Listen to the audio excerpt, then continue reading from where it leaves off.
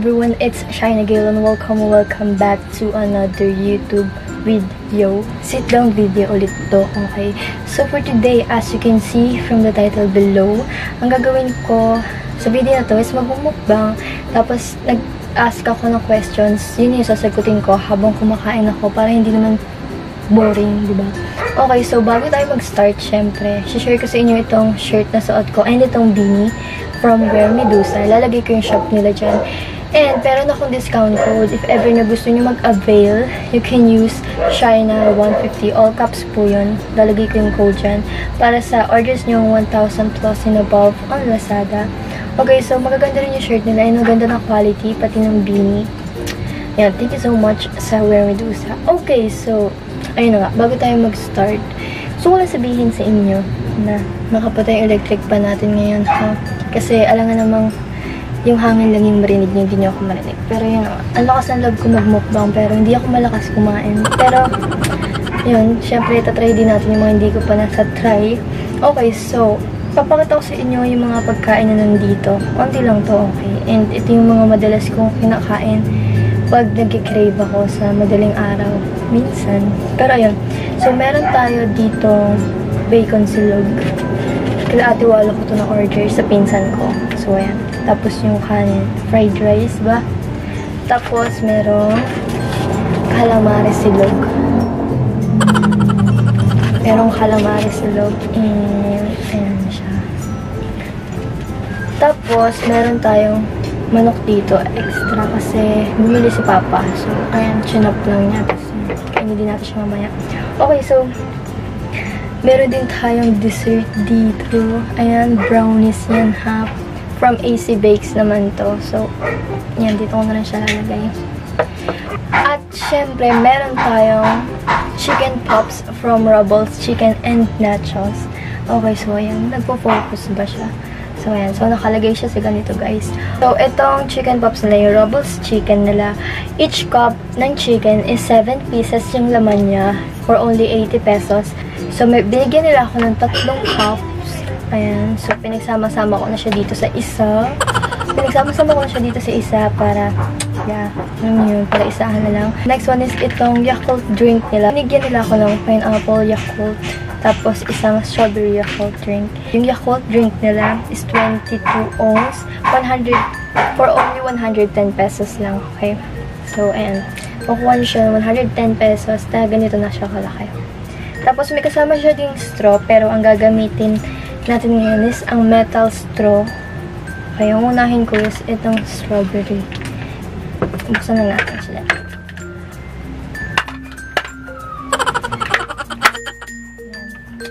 Diyan natin siya lalagay ha. Okay, so, meron din siyang kasama na sauce niya ng chicken pops. Okay, so meron tayo ditong barbecue. Buffalo. Ayan. Nakita niyo ba? Tapos, last is itong, ano bang tawag dito? Wait lang. Okay, so last is ranch. Ayan siya. Wait lang, hindi pa pala siya open pero buksan natin siya. So, titikman natin to yung mga sauce nila lahat. Mamaya, pag nag-start na tayong kumain. And, oh, parang sour cream, ganun. Basta ganyan. Tapos, ayan, binuksan ko na yung mga sauce para i-dip na lang natin dyan yung chicken pops mamaya. Okay, so, yeah, mag-start na tayong kumain. So, balik kakain na muna ako ng konti bago ako sumagot ng questions niyo, okay? Okay, so meron pala ako ditong kanin. Gumagalaw siya. Ayan, yung plain rice. Kinuha ko sa baba, yung luto nila.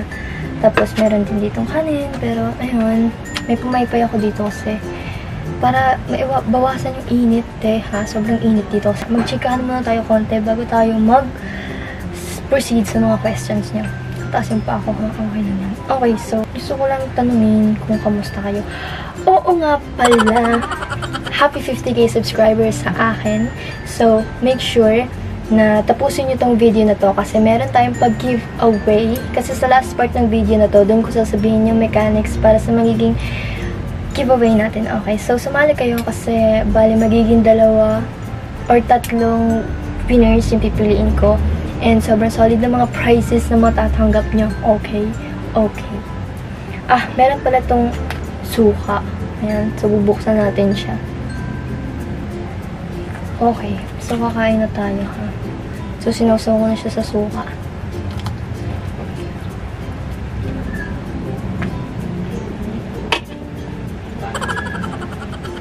Maraming beses yun na rin ako nakitang nakain sa mga vlogs ko. Pero, pero, ito pa lang yung vlog ko or video ko na in-upload ko sa YouTube channel ko na talagang nakafocus ako sa pagkain.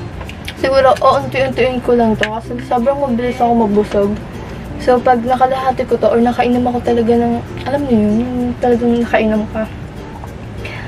Mabubusog na ako, hindi ko na mauubos or hindi ko na siya matitikman lahat. Okay, so, tikman natin ito kuha tayong isa. Gusto ko sana magkamay. Magkamay lang. Kaso kasi, ayaw maging dubyo. Tapos hawakan ko kasi yung camera. So, pinapost-post ko siya. So, ano yun? Okay, so unahin natin itong ranch. Sasawsaw natin siya sa ranch. Hindi ba nagpo-focus? Saan ba nagpo-focus? Yan. Parang nga siya, ano, yung sour cream, yung ranch.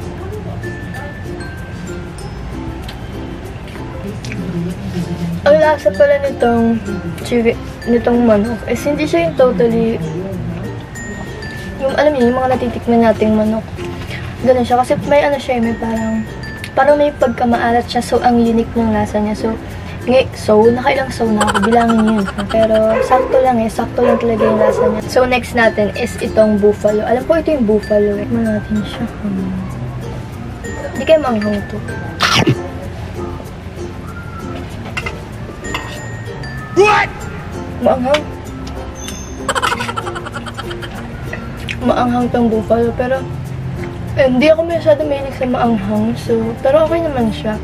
Pero baka kayo, yung mga mahilig sa maanghang, talaga magustuhan nyo ito. Mm.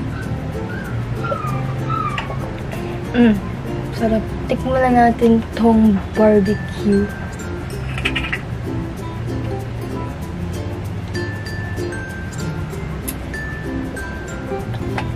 Sarap. Dito naman tayo sa bacon, ha? Manok.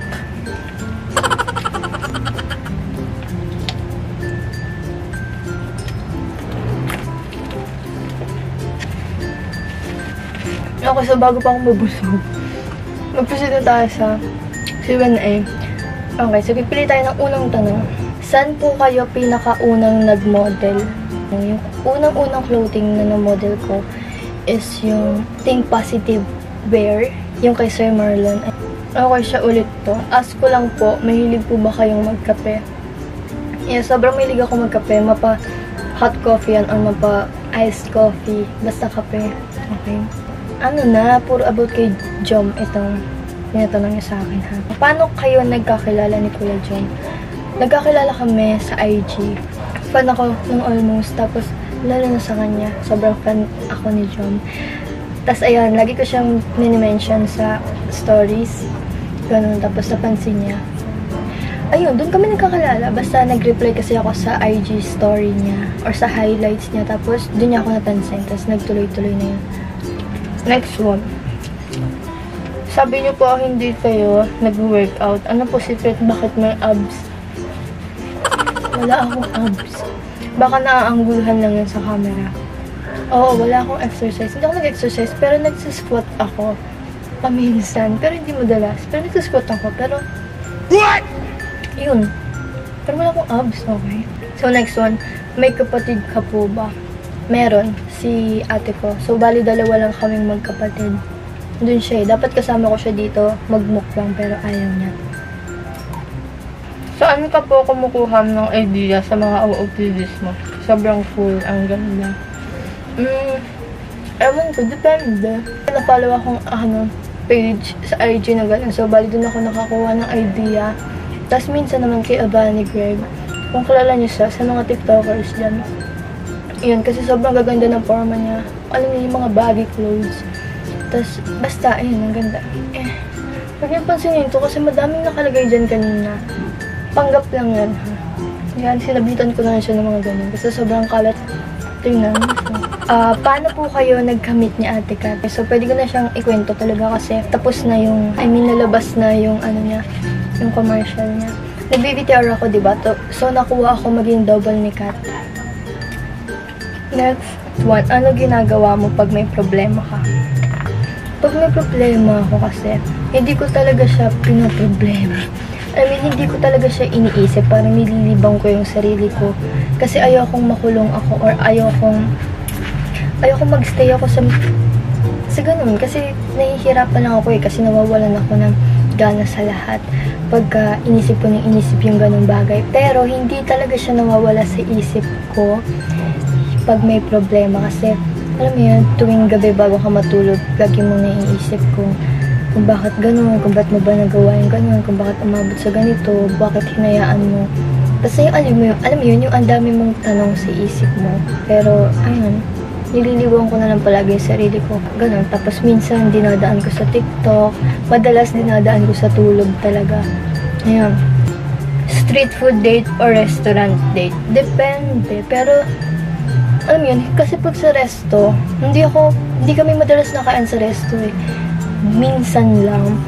So, hindi ko alam kung ano, yung, kung ano ba dapat yung orderin. So, ayun, alam mo yun. So, masanay ako sa mga street food. So, mas okay po yun. Tapos, sa murang halaga, di ba, mabubusog ka pa. Tapos, ang daming pumawang makakain. Okay. Message sa mga sumusuporta sa'yo. Gusto ko lang mag-thank you sa inyong lahat. Kahit na hindi ko na kayo masyadong nanonotice ngayon. Pero, alam niyo yun, sobrang thankful ako kasi andyan pa rin kayo sumusuporta sa akin and kung wala kasi kayo, hindi ako aabot sa ganito, hindi ako magkakaroon ng 50k subscribers, hindi ko mararating yung mga achievements na narating ko ngayon.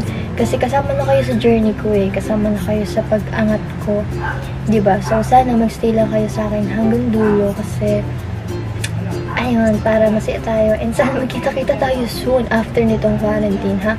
Mapala mag-ingat kayo, huwag na kayo masyado munang maglabas-labas. Kung lalabas kayo, wear your mask, face shield, tapos lagi kayo mag-alcohol, tapos social distancing, okay? A few moments later. Feeling ko busog na ako. Pero, naubos natin ito. Ay, may isa pa. Okay, so, ayan, dyan ka na lang muna. So, ayan, sobrang sarap po nito. Thank you so much sa Robles. Ayan, so, naubos natin siya. Yay! Brownies from AC Bake. Sobrang sarap nito. Madalas na ako nag-order sa kanila ng brownies. And,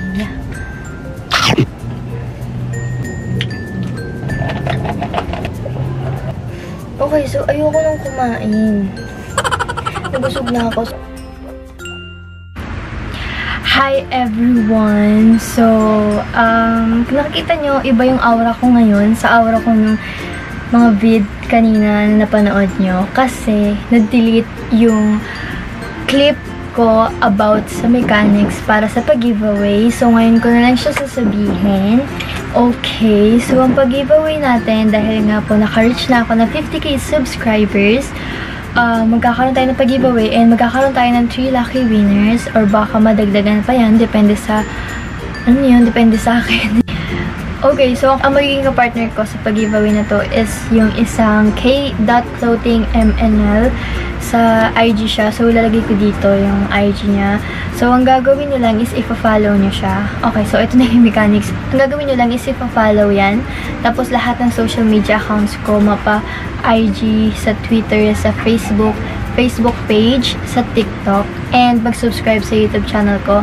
And ilalagay ko sa description box yung mga link na kailangan nyong i-follow and yung mismong mechanics para mas maintindihan nyo ganun lang siya kadali. And hanggang ano lang to, um, katapusan siguro nitong September, dun kami mamimili ng winners. And huwag kayo mag-alala kasi hindi lang siya puro pang babae. And ayun, basta ilalagay ko sa description box yung ano, yung mismong mechanics. And yeah, thank you so much. Good luck sa lahat ng mga sasali. And bye. Thank you. Peace.